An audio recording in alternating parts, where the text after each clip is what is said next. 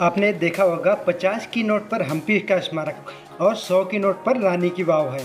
दो सौ की नोट पर सांची का स्तूप और पाँच सौ की नोट पर लाल किले का चित्र आपने देखा होगा। पर क्या आप ये जानते हैं कि ये सभी विश्व विरासत स्थल है? यूनेस्को, आखिर यूनेस्को है क्या? तो यूनेस्को का फुल फॉर्म है United Nations Education, Scientific and Cultural Organization. इसका मुख्यालय फ्रांस के पेरिस में है। इसका उद्देश्य शिक्षा, विज्ञान एवं संस्कृति के माध्यम से शांति एवं सुरक्षा को बढ़ावा देना है। अगर हमारे देश में विश्व विरासत स्थल की बात करें तो इनकी संख्या वर्तमान समय में 40 है। जिनके बारे में आज विस्तार से जानते हैं। पहला नंबर पर है अजंता की गुफाएँ। अजंता की गुफाएँ महाराष्ट्र राज्य के औरंगाबाद ज़िले में स्थित है। अजंता की गुफा हिंदू और बौद्ध धर्म से संबंधित है। इसको विश्व विरासत स्थल में उन्नीस सौ तिरासी में सम्मिलित किया गया है। वहीं दूसरे नंबर पर बात करें तो एलोरा की गुफा है। एलोरा की गुफाएँ महाराष्ट्र राज्य के औरंगाबाद ज़िले में स्थित है। यह हिंदू, बौद्ध और जैन धर्म से संबंधित है। यह भारत के प्राचीन इतिहास के सांस्कृतिक और कलात्मक को दर्शाता है।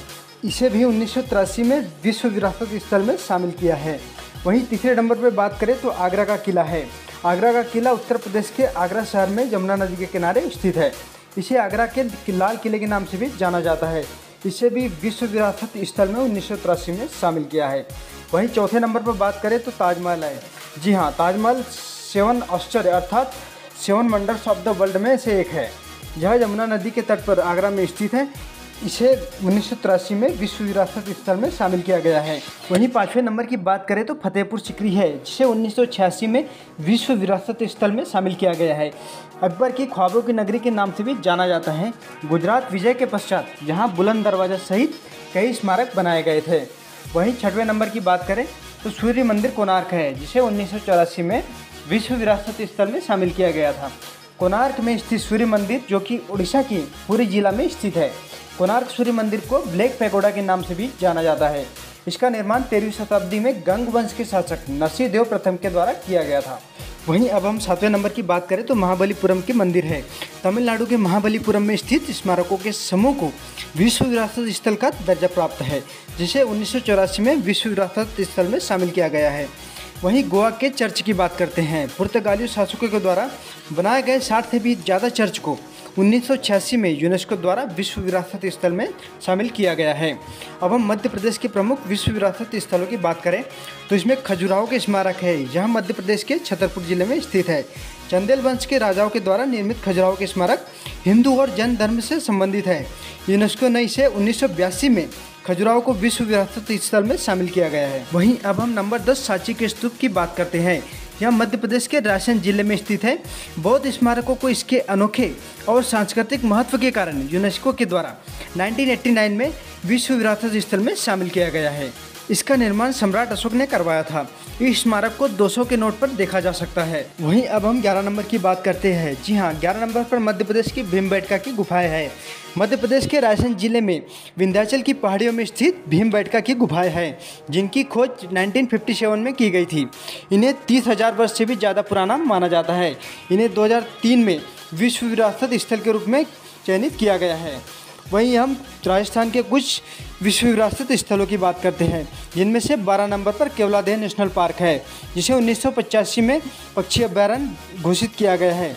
वहीं अब हम तेरह नंबर की बात करें तो पहाड़ी किले। जी हाँ राजस्थान के कुछ पहाड़ी किले जिन्हें 2013 में विश्व विरासत स्थल में शामिल किया गया है, जिनके बारे में बात करते हैं। नंबर एक पे चित्तौड़गढ़ का किला, नंबर दो पे कुंभलगढ़ का किला, नंबर तीन रणथम्बोर का किला नंबर चार, आमेर का किला। नंबर पाँच, सोनार का किला। और नंबर छः, गागरन का किला। वहीं चौदह नंबर की हम बात करें तो इसमें द पिंक सिटी अर्थात राजस्थान की गुलाबी नगरी के नाम से जाने जाने वाला शहर जयपुर है, जिसे सत्रह सौ सत्ताईस में सवाई राजा जयसिंह के द्वारा स्थापित किया गया था। वहीं अब हम पंद्रह नंबर की बात करते हैं, जहाँ जंतर मंतर, जिसे 2010 में विश्व विरासत स्थल में शामिल किया गया है। जंतर मंतर का निर्माण महाराजा जयसिंह द्वितीय ने करवाया था। प्राचीन काल में मौसम संबंधी और खगोलीय घटना का अध्ययन किया जाता था। वहीं अब हम नंबर 16 पे पश्चिम बंगाल के एकमात्र विश्व विरासत स्थल की बात करते हैं, जिनमें सुंदरबन नेशनल पार्क है, जिसे उन्नीस सौ सतासी में विश्व विरासत स्थल का दर्जा प्राप्त किया गया है। यह विश्व का सबसे बड़ा मैग्रोव वन क्षेत्र है तथा विश्व का सबसे बड़ा डेल्टा है। यहाँ भारत का सबसे बड़ा बाघ बंगाल टाइगर पाया जाता है। अब हम नंबर सत्रह पे स्थित सिक्किम के एकमात्र विश्व विरासत स्थल की बात करते हैं। कंचनजंगा नेशनल पार्क, जिसे 2016 में विश्व विरासत स्थल में शामिल किया गया है। यह अपनी विविधताओं के कारण प्रसिद्ध है। यहाँ पर विश्व की तीसरे सबसे ऊँची चोटी कंचनजंगा भी स्थित है। अब हम नंबर अठारह पे गुजरात के प्रमुख विश्व विरासत स्थलों की बात करते हैं। चंपानेर पावागढ़ पुरातत्व पार्क। जिसे 2004 में विश्व विरासत स्थल में शामिल किया गया है। यहाँ पर पावागढ़ पहाड़ी के ऊपर काली माता मंदिर है और जैन मंदिर स्थित है। वहीं नंबर 19 की बात करें तो रानी की वाव जिसे 2014 में विश्व विरासत स्थल में शामिल किया गया है। गुजरात के पाटन ज़िले में स्थित रानी की वाव अपने आकार और मूर्तिकारिता के लिए प्रसिद्ध है।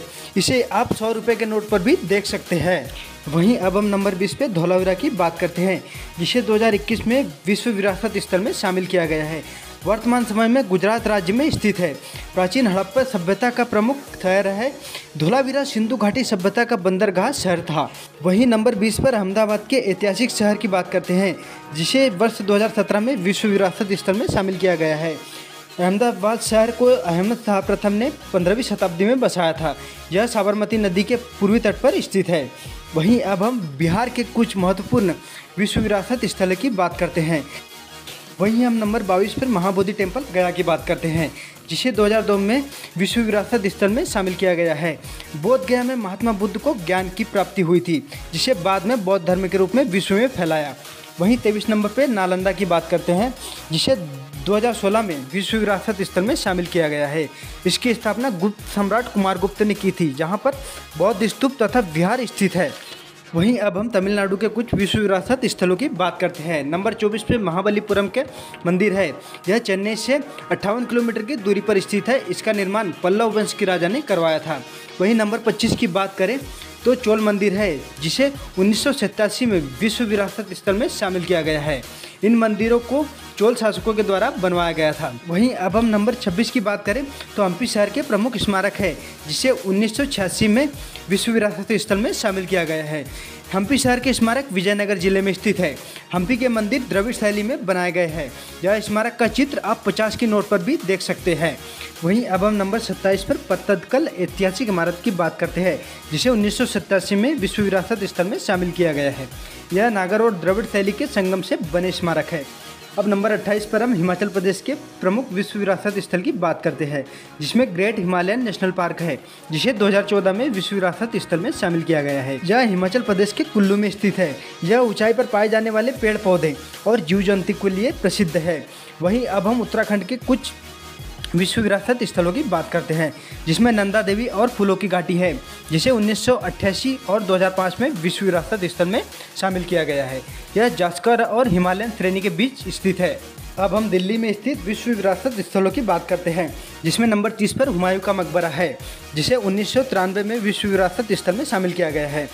मुगल शासक हुमायूं का मकबरा दिल्ली में स्थित है। हुमायूं के मकबरे को ताजमहल का अग्रगामी भी कहा जाता है। वहीं नंबर इकतीस की बात करें तो कुतुब मीनार है। यह स्मारक उन्नीस सौ तिरासी में इस स्मारक परिसर को विश्व विरासत स्थल में शामिल किया गया है। कुतुब मीनार की ऊंचाई बहत्तर मीटर है। कुतुब मीनार परिसर में स्थित दो स्तंभ है, जो तेईस फीट लंबा है और उस पर जंग नहीं लगता है। अब हम नंबर 32 पर लाल किला की बात करते हैं, जिसे 2007 में विश्व विरासत स्थल में शामिल किया गया है। यह राष्ट्रीय महत्व का स्मारक है, जहाँ पर प्रत्येक स्वतंत्रता दिवस के अवसर पर प्रधानमंत्री तिरंगा फहराते हैं। यह स्मारक का चित्र 500 के नोट पर देखा जा सकता है। अब हम असम में स्थित विश्व विरासत स्थलों की बात करते हैं, जिसमें नंबर तैंतीस पर काजीरंगा नेशनल पार्क है, जिसे उन्नीस सौ पचासी में विश्व विरासत स्थल में शामिल किया गया है। यह एकमात्र जगह है जहाँ पर वेक सिंह वाला गैंडा पाया जाता है।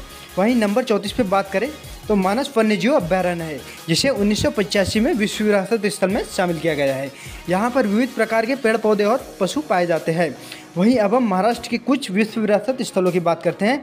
नंबर 35 पे एलिफेंट गुफाएँ है, जिसे उन्नीस में विश्व विरासत स्थल में शामिल किया गया है।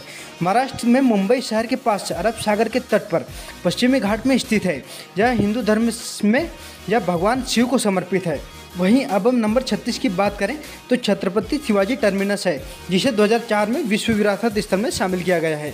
मुंबई में ब्रिटिश काल में बनाई गई रेलवे स्टेशन यह स्मारक है, जिसे विश्व विरासत स्थल में शामिल किया गया है। अब नंबर सैंतीस पर बात करें तो पश्चिमी घाट, अर्थात जिसमें कर्नाटक, केरला, तमिलनाडु, महाराष्ट्र शामिल है। इसे दो हज़ार बारह में विश्व विरासत स्थल में शामिल किया गया है। अरब सागर के तट पर जैव विविधता से भरपूर पहाड़ों को पश्चिम घाट कहा जाता है। भारत में सबसे अधिक जैव विविधता पश्चिमी घाट में पाई जाती है। तेलंगाना के एकमात्र विश्व विरासत स्थल रामप्पा मंदिर, जिसे वर्ष 2021 में हाल ही में विश्व विरासत स्थल में शामिल किया गया है। यह मंदिर पालमपेट में स्थित है। इसे हाल ही में 2021 में यूनेस्को द्वारा विश्व विरासत स्थल में शामिल किया गया है। वहीं हम चंडीगढ़ की बात करते हैं। चंडीगढ़ में कैपिटल कॉम्प्लेक्स है, जिसे 2016 में विश्व विरासत स्थल में शामिल किया गया है। वहीं नंबर 40 पर हम भारतीय पार्वती रेलवे की बात करते हैं। नंबर एक पर दार्जिलिंग हिमालयन रेलवे है। यह पश्चिम बंगाल के दार्जिलिंग जिला में स्थित है, जिसे 1999 में विश्व विरासत स्थल में शामिल किया गया वहीं नंबर दो पर नीलगिरी पर्वतीय रेल है, यह ऊटी अर्थात तमिलनाडु में है, जिसे 2005 में विश्व विरासत स्थल में शामिल किया गया है।